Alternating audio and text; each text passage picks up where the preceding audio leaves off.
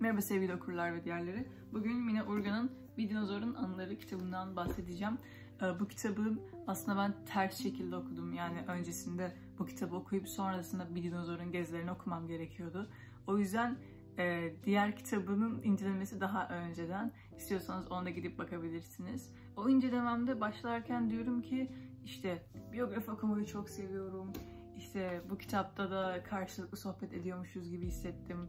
Düşününce o kitapta daha çok bir rehberle dolaşıyormuş gibi hissetmiştim.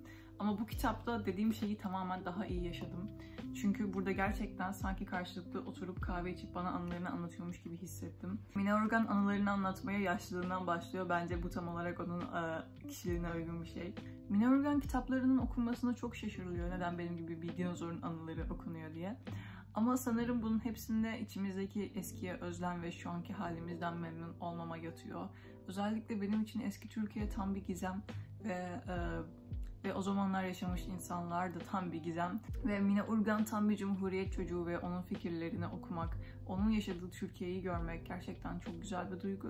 Ve ayrıca çok üzücü çünkü hem ne kadar ilerlediğimizi görmüş olsak da anılarında ne kadar gerilediğimizi ve ne kadar yerinde saydığımızı da görmüş oluyoruz. Bu açıdan üzücü. Ee, kitap hakkında sevmediğim tek bir nokta vardı. Yani sevmediğim de denmez aslında sıkıldığım. Son kısımdan çok sıkıldım. Beni sarmadı bilmiyorum. Siyasetle ilgim olmamasından da olabilir. Yani son kısım sadece siyasete ayrılmıştı. Ve ben um, pek umursamadım. Ama bu tabii ki de Mina Urgan'ın kişiliği. Çünkü o bir komünist ve tamamen hayatı boyunca solcu bir insan. Ve o yüzden tabii ki de böyle bir bölüm olacaktı. Ama dediğim gibi beni pek sarmadı. O yüzden ben biraz atlayarak geçtim. Bu kitapta bir başka sevdiğim şey ise araya şiir koymasıydı. Gerçekten anlattığı şeylere daha güzel bir derinlik katıyordu bence. Ve eskiden şiire gerçekten ne kadar çok önem veriliyormuş. Şu an sizce o kadar veriliyor mu? Bence hayır. Şöyle düşünüyor olabilirsiniz neden random bir akademisyenin hayatını okumak isteyeyim. Ama bu insan random bir insan değil. Bu insan 14 yaşında Atatürk'e dans etmiş bir insan. Bu insan gerçekten edebiyattaki tüm insanları tanıyan bir insan. Kitabı okurken sadece Mine Organ'ı görmüyorsunuz. Aziz Nesin'i görüyorsunuz, Oğuz Atay'ı görüyorsunuz ve daha çok güzel isimleri görüyorsunuz. Benim açıkçası bu kitaba başlama motivasyonum Atatürk'le tanıştığı kısımları okumaktı ve gerçekten oraları okurken çok duygulandım ve Atatürk'le bahset, Atatürk hakkında bahsettiği her bölümde çok duygulandım ve sürekli Atatürk'e Atatürk dememesi ve Gazi Mustafa Kemal Paşa demesi de beni duygulandırdı. Neden bilmiyorum.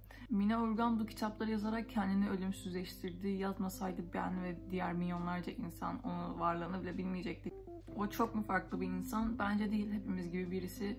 Ama anılarını ölümsüzleştirmesi gerçekten onu farklı kılıyor.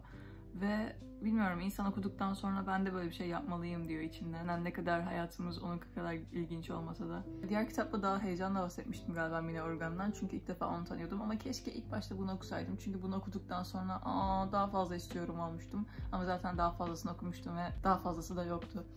O yüzden önce bir dinozorun anılarını okuyun. Sonrasında bir, e, bir dinozorun gezilerini okuyun. Benim bu kitap hakkında söyleyeceklerim bu kadar. Çok fazla konuşamadım ama genel olarak kitabı çok beğendim. Ve gerçekten herkese öneririm. Bunu okuyun sonra Dinozor'un gezilerini okuyun. Yine söylemiş olayım. 10 üzerinden 10, 5 yıldız üzerinden 5 yıldız.